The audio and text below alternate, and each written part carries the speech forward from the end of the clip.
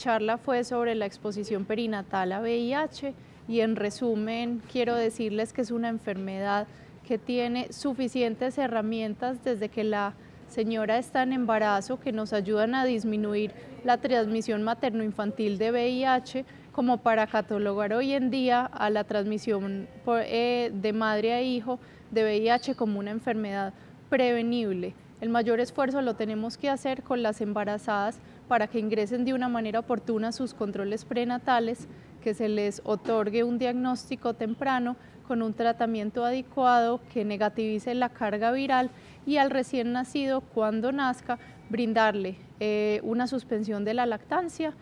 con una suplementación de leches de fórmula, antirretrovirales y un seguimiento adecuado por infectología pediátrica con cargas virales de control.